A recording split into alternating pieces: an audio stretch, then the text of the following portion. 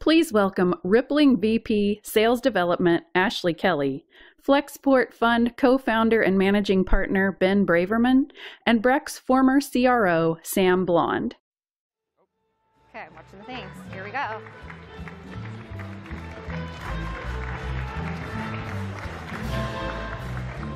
All right. Oh. Team on three. One, two, three, team. Team. Okay. Woo. We are delighted to be here. Let's kick it off with a round of introductions. AK, why don't you start for us? Sure. Hi, everyone. Um, my name is Ashley. Um, most people call me AK, even, even my mom, so that's fair game. Um, I've been uh, leading sales development teams for almost a decade in the Valley, um, building them for companies like Zenefits, Lever, Narvar, um, Brex, and now at Rippling. So excited to be here and chat with everyone. And yes. Like Ashley, I've been selling things my entire adult life. Uh, I have no other skills. Uh, I can't use Excel. I can't paint you a picture. Uh, but for the last almost 20 years, I've been selling things for tech companies. Um, one of the first ones was a company called Heyzap.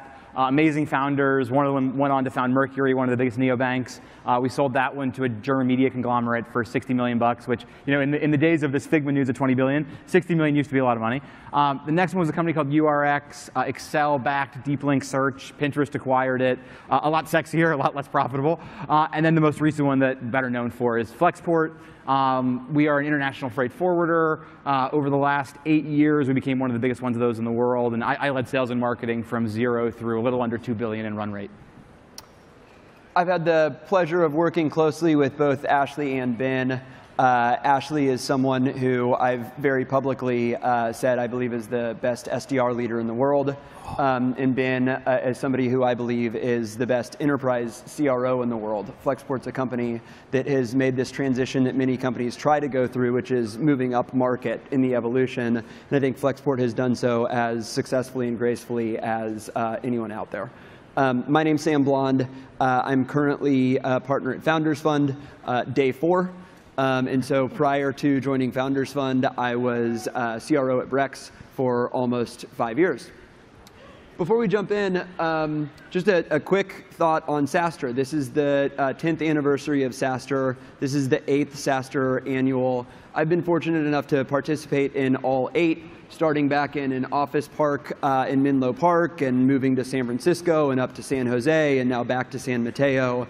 Um, so lots of change throughout the eight years. There's just been one constant, which is each event is bigger and better than the last. And so huge kudos to the, the SaaStr team, Jason, on just doing an incredible job. Um, and we're all very happy and, and, fortunate to be here. Yeah, even the food is good here. Um, every, this is the most competent event I think I've ever been to. It's so competent, we almost didn't get in because none of us had the right COVID paperwork. Uh, we've been tested, I, I, assure you. It's not a health risk. Um, but yeah, very impressed by the event. Amazing work, everybody involved. Thankfully, Ben is also a stand-up comic because providing some comic relief and has, has, a good uh, filter. today's too. session. All right, we're going to see if we can operate the clicker correctly and jump in. Um, we're going to start pretty, uh, of course I'm screwing this up. Oh, I just don't see the, I apologize. Let's, let's go back to, um, that's perfect. We're going to start very high level. Um, this is Ben's framing, turning a dollar into two. Uh, we thought that we would just come out and, and, talk about, we've each done this for 10 plus years. We have some favorite learnings to accelerate growth, just like very broad, big picture. What's the, the one thing that you've learned that you're most excited about in your 10 plus years leading revenue organizations? Ben, this is uh, your topic, so why don't you kick us off? Yeah, and in fairness, I stole this quote from The Wire. Uh, this is not an original quote. Uh, this is Prop Joe. But the, the idea of turning a dollar into two, um, when we started Flexport, I had this notion that you needed an enormous sales organization to drive uh, enormous results. Um, and at some point, I realized hiring great sellers is the hardest part of this job. Hiring and ramping great sellers. There's, there's nothing that's going to be more of a challenge. And what we found at Flexport is if you sort of overinvest in the support infrastructure for your top performers, I'm talking about literally your top three, five people at the absolute most, you will drive so much more performance than if you try to build a larger team. Um, Flexport got to almost 200 million a year in top line which like if you want to do the math on, to convert to SaaS, I know most of you guys have SaaS companies, um, we're about a 20% take rate business. So about a 40, the equivalent about a 40 million dollar a year software business with five people doing 99% of the revenue, and really two people among that five doing the lion's share of the, of, of, of the load. Um, so really incredible how far you can get. And then so much of life is, is threading the needle. Um, and, and what we found is the same thing that had been our, our biggest asset, which was this incredible support infrastructure that overproduced leads, that allowed us to have multiple account managers paired with one account executive. You know, all these things we did to give our best sellers leverage, they were ultimately a huge liability because we, we, we did not know how to grow a sales team. Um, we had like I said, about five people who knew how to sell Flexport. We were at a point where going from 200 million a year to a billion, you can't do with five people. Like, there's not enough hours in the day. You can't move up market fast enough. Um, you actually have to get good at doing this thing that I had systematically avoided for the first three years. Um, and so what we found, like there's one very specific hack that we figured out that would allow us to get our best sellers to care about growing other sellers.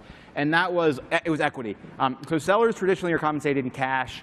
I, in fact, I think like one of the mistakes founders make uh, overall is they over they overly focus on, on paying sellers in cash and they don't give enough equity. But what we figured out is there was a, a very specific structure where we told our sales leaders who generally manage eight reps. So you have an eight to one ratio. So therefore, this could happen if you're a really amazing sales leader. You could have eight of these equity grants a year for each person you hired and added to your team and got to hit their year one quota, you got what was at, that time a very significant equity grant. Um, we had one guy uh, named, guy named Justin Schaefer who became our, our national VP sales, uh, went on to, he, I think he's head of sales at a Sequoia company right now. Um, he did like 14 of these over the years, like, you know, cha- changed his life. We got him to care about growing new reps as much as he cared about closing new business. Um, and we would never have done it without this very specific structure that was totally separate from his cash package. I love that learning. Um, in the early days, uh, you talked about not necessarily uh, hiring too quickly because you sort of dilute away uh, leads from the top performing sales reps. So one of my favorite, uh, I guess, cliches is more salespeople does not equal more sales. Um, and again, you sort of dilute away. I think the, the um, barometer that I used to determine when to hire was looking at um, lead flow and really just people's calendars. You can share uh, uh, calendar with your sales rep. If it's loaded up with meetings and they're very busy, it, it, it's a sign that you can continue to hire. If they're struggling to get calls on the calendar, hiring more salespeople is just, just going to dilute those meetings to less experienced reps that are going to uh, have fewer uh, closed deals. both of your former boss, the famous Parker Conrad, once said to us, like when we were starting Flexport, we, were, we went to him for advice. He said, when you hire a new sales rep, your current team should be screaming at you that it's going to break, that they cannot take more meetings, they cannot onboard more customers. Only then are you ready to expand the team. Uh, and I, that, that's, that's sort of the mantra we followed, and it, it served us really well. Awesome learning. Yeah, yeah. Well, I was going to say, I think um, part of what you're talking about too is like incentivizing people the right way, um, and then the lead flow piece is important. Is interesting because when I think of like the, my favorite learning to accelerate growth, at least from the SDR function, um, was something that's actually pretty controversial um, in the fact that most SDR teams today are comped based on a top of funnel metric. So most people, I'm, I'm going to use the term SCO, like a stage two opportunity, which seems to be pretty blanketed across um, all of our across our industry. But um, one thing we actually did after we had that type of a problem, where there were so many meetings that were on the on the calendar, um, yet we were looking at the data and seeing that they weren't actually converting all the way down the funnel. Um, so we had a we had a quality issue, and so in order to, for us to solve that, there was a lot of systematic process stuff that we could do. We did do that. We did a lot of trainings with the team, but ultimately, what uh, the decision that we made was to um, change the incentive structure for the SDRs. So we actually um, moved them down to the revenue metric, and so they were really tightly aligned with their AE in a pod setting, um, and we were able to 3x uh, the referring revenue from the outbound team um, within six months. It was like a dramatic increase. And so I think I, I think I turned a dollar into three there. So that's going to be my new quote. we could change the name of the slide. Outperforming, as usual. Uh, interesting learning. Mine, mine is somewhat related, at least when it comes to sort of like database and outbound. Um, and, and coupled that with Ashley's, actually, we just in, increased the performance of the SDR organization. So. Um, one thing that we experienced at Brex, we, we incentivized people based off of squoze, as Ashley described. Um, and the, the effort required to close uh, two deals that could be very different from one another was relatively similar. So at Brex, if we were talking to a 100 person law firm, um, the effort required from a sales rep was relatively similar to the effort required to close a 100 person fast growing technology business. Um, but the dollars of revenue that those two companies generated were vastly different. Um, depending on the type of business it was, there were verticals and sub-verticals that were exponentially larger in terms of their revenue contribution because it was sort of usage-based, um, how much money they are putting on credit cards. Uh, there are other examples where similar sized companies can have higher concentrations of employees where uh, the product is being used. And so by being very deliberate at the very top of the funnel, we increased revenue dramatically. We sort of took away the ability for um, SDRs and AEs to use their own subjectivity and judgment on which account to go after. And we actually managed our database to the point where we said, these are the accounts that you are going after, knowing that they would generate exponentially more revenue. It's something that we could have done uh, sooner, but as soon as we did do it, our average deal size, I'll steal from Ashley here, increased like threefold. So we also turned a dollar into three um, just by being super deliberate about the accounts at the very top of the funnel that we were reaching out to um, and going after those that we knew would spend more um, and required the exact same amount of effort to close. So um, before we move on to the next one, this was sort of a broad topic. We each had, I think, some ideas that we wanted to uh, share here. Quickly, as we move forward, just show of hands in the audience for folks that are at businesses today that are sub $2 million in ARR. Awesome. And, and can we do a show of hands for folks um, on the other side of this that are at businesses that are more than $2 million in ARR? All right, awesome. So um, maybe uh, slightly weighted towards more than 2 million, but relatively even split. So with that in mind, we'll continue along with uh, some more tactical uh, things that we want to talk about, specifically recruiting. Um, ben, uh, actually, before we jump in, I, have done an, an, entire session on recruiting at a SaaStr event. Um, and one of the slides that I had, um, sort of poetically, right before I went on stage, Jason had tweeted uh, what you see right here in MBR, nothing matters but recruiting. And so we're starting sort of tactically with the thing that we think might be the most important in terms of uh, scaling business and, and certainly scaling a go to market organization. Ben, you joined Flexport, I think, in the first like five to 10 employees. What are some of the learnings at the early stage around um, recruiting, uh, what worked, what didn't, et cetera? Yeah, I, so it's gotten so much harder for you all than it was for us. There's just so many more companies. There's so much more capital um, there's so many more options for top talent, and I don't think the pool has gotten correspondingly bigger over the last eight years. So for all of you founders in the audience, God bless you. Like you're playing the game on hard mode at this point in history. Um, so I, I don't want to, you know, I don't want to say that I have all the answers because like I have to acknowledge our era, it, like the, the market was just thinner. It be, just being a founders fund company, a Google Ventures company, was enough to stand out. I'm not sure that's necessarily true anymore. Um, and so you have to sort of lean into what are sort of the things that the rest of the market isn't capturing or measuring? What is a strong signal that I might be able to find about a human being that other folks who are Google or Apple or Facebook or whatever the employer of choice is maybe isn't sampling on? Um, and what we found at Flexport is really two things that we would look for. We wanted to find people at an arc in their career where the, whatever the job was made sense, where like someone had to be able to tell us a story about why the job specifically that we were talking to them about, or, or, maybe I should reverse it. We had to be able to tell them a story about why the job we are talking to them about was going to change their life on a four-year time horizon. Um, and if you couldn't have that conversation with someone honestly, it either meant that they were a mismatch for the role, or it meant that you hadn't thought enough about how to give them what they needed to actually take the job. Because if you're asking someone to give up the certainty of a Google, an Apple, a Facebook, or even at this point, a Brex, a Rippling, a Flexport, um, if you're asking people to give up that certainty, you've got to offer them the opportunity to change their life.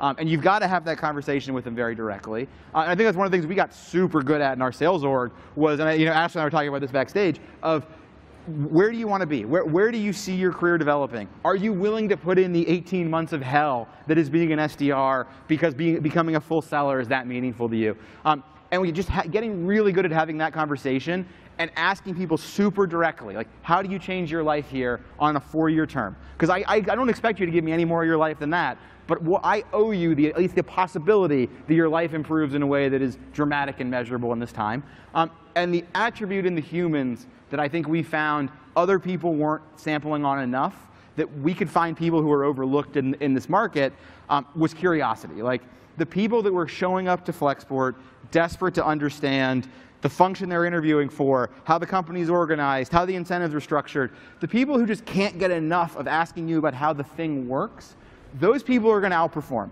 Um, even if their resume doesn't indicate it, even if their history doesn't indicate it, that person, all things equal, will outperform a person who doesn't do that nine times out of 10. Um, and so yeah, that, that's in general, early stage recruiting, those were the two things that we zeroed in on.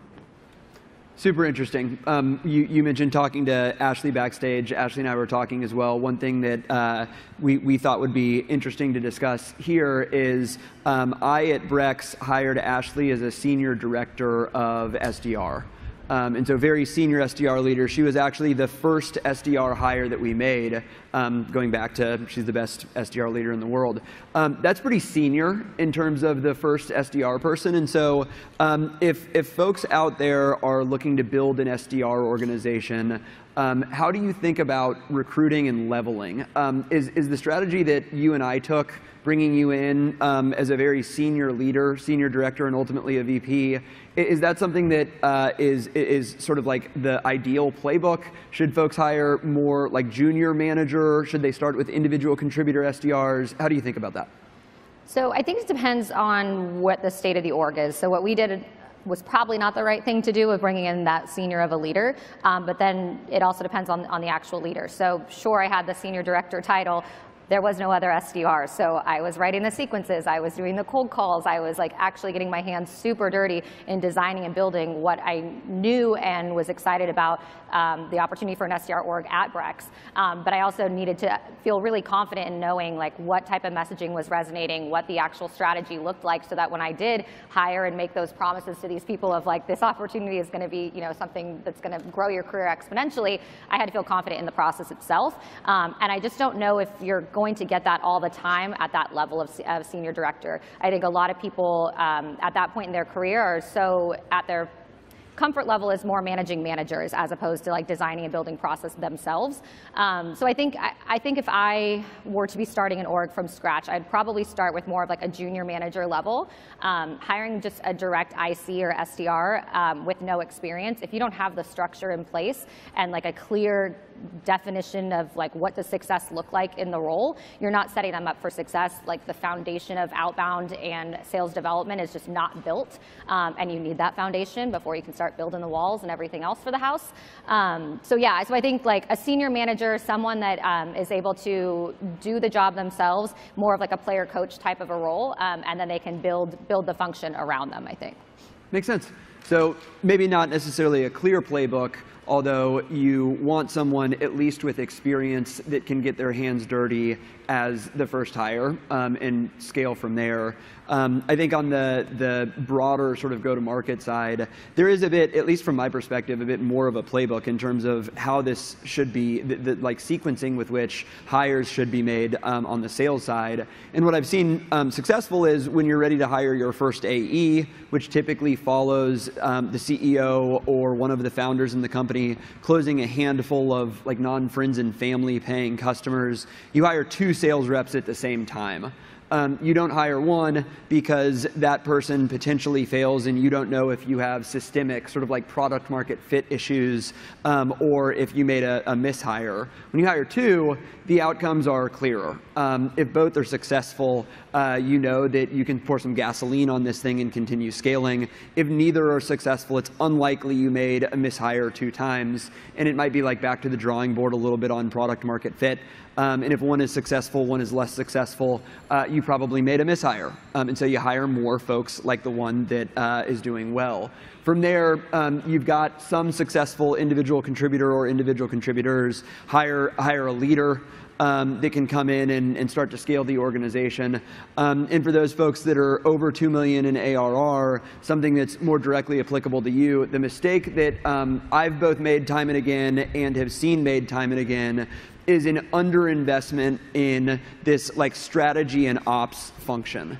Um, and investing like early and often in sophisticated strategy and ops pays massive dividends in terms of your ability to grow revenue quickly and oftentimes can replace a, a large number of sales reps. And sort of a tactical example of that, um, the, the learning that I shared around being hyper focused about who the SDRs were reaching out to, that was a function of strategy and ops. Um, and they allowed us to hire fewer sales reps, spend less money on sales reps, improve unit economics by making adjustments such that the productivity on a per rep level was so much greater. Um, and so just again, like can't say enough um, the value that quality strategy and operations, especially for companies that are in this sort of like uh, pouring gasoline over $2 million of ARR uh, stage in the life cycle can provide. Um, let's keep it rolling. I think we have about 10 minutes left, and we are a little over halfway done. Um, the next one is something that Ashley is better equipped than most to discuss, and it's outbound. Um, what works, what doesn't. We've already touched on this a little bit. Um, Ashley, specifically, uh, you recently joined Rippling, and you uh, came from Brex. At Brex, our SDR org was structured such that um, SDRs did the outbound themselves. We gave them outreach licenses, LinkedIn Sales Navigator, whatever tools they needed to add folks to the database um, and outbound and write the sequences themselves. We provided a lot of assistance in terms of like, this is the account you should reach out to. But again, the actual outbound came from the SDRs themselves. At Rippling, my understanding is the structure is it's much more concentrated in marketing marketing is sort of like a hub that um, is centralized for all of the outbound to go out. The SDR organization is more like an inbound function that is fielding replies uh, and again, sort of like an inbound SDR versus outbound SDR, outbound centralized with marketing. How do you think about um, what's the right what's the right strategy there?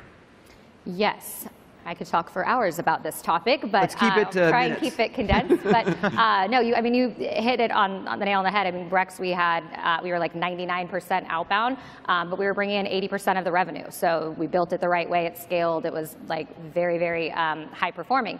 a lot of the reasons I went over to Rippling is to be able to build out that similar type of function because they have the inverse where everything is essentially inbound with um, Mepstein leading that crew. I mean, it's like genius the way that it's like infrastructured, but one of the first things I did in the first couple of weeks uh, with them was actually did a restructure and a reorg of um, the SDR team. So they had uh, reps that were working uh, inbound and outbound at the same time, which um, if you have an existing team today, you know that those are two very different muscles um, that require uh, almost a different type of skill set too, and like just time management and just the things that are different between those. And so what we did is we actually um, broke them out to where there is now uh, teams that just work inbound leads, so just be web leads, and then we have what uh, Sam is describing as like the email marketing team, where uh, marketing is still running massive email campaigns and the SDRs are then responding to, to them and, and, booking their demos. But we now have a very separate, just outbound team. And so taking that similar playbook that we did over at Brex, where we're identifying like the right type of accounts that we know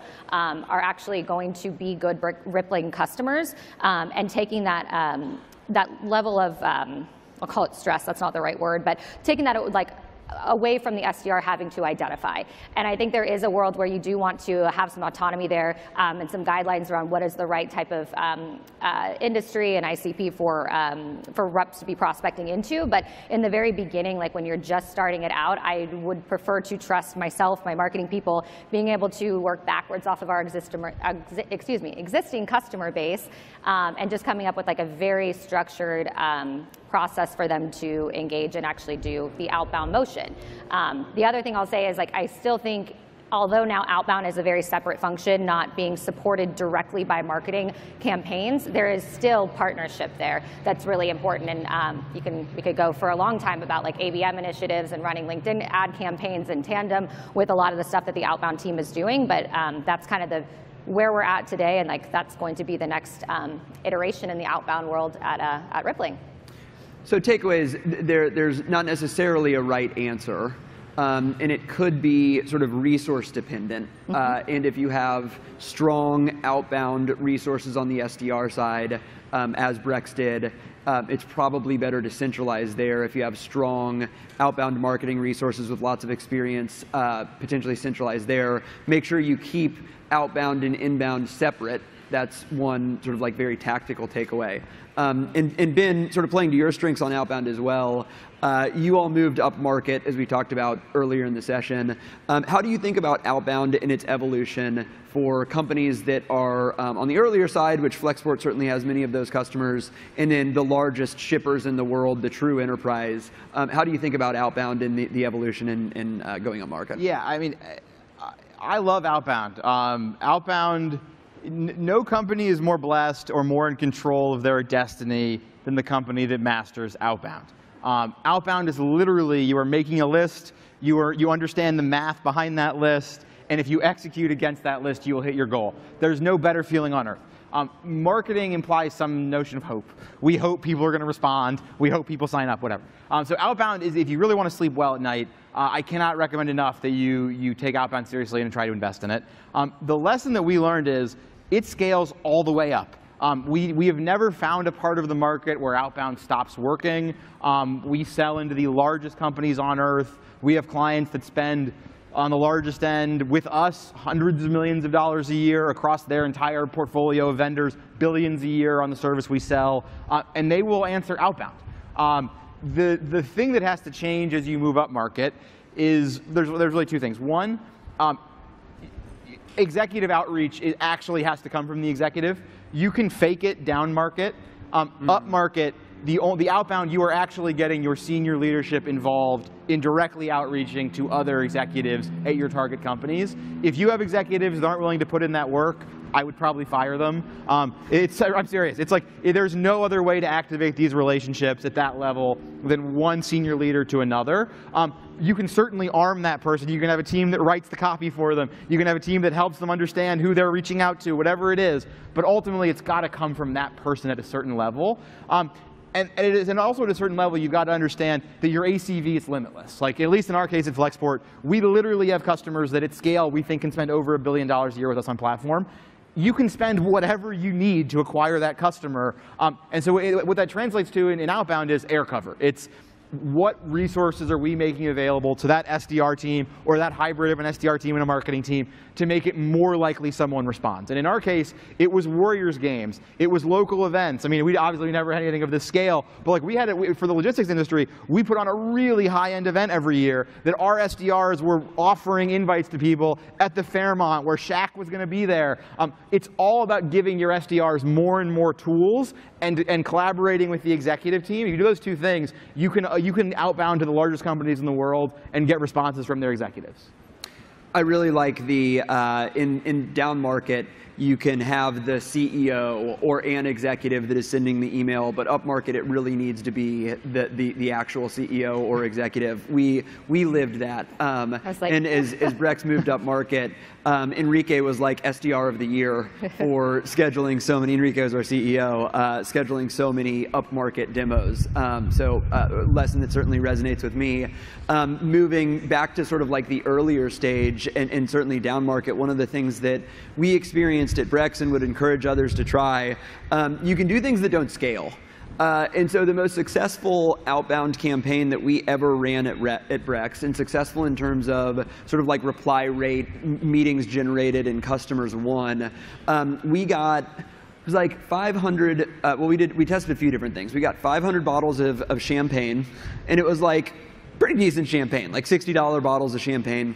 We got these things called Brigadeiros, which were Brazilian chocolates. Um, Brex's founders are Brazilians, so they influenced that one. Um, and then we did a test with nothing, just emails. And we had, um, we were going after startups. We delivered the bottles of champagne, the Brigadeiros, and then didn't deliver anything. We just sent the emails.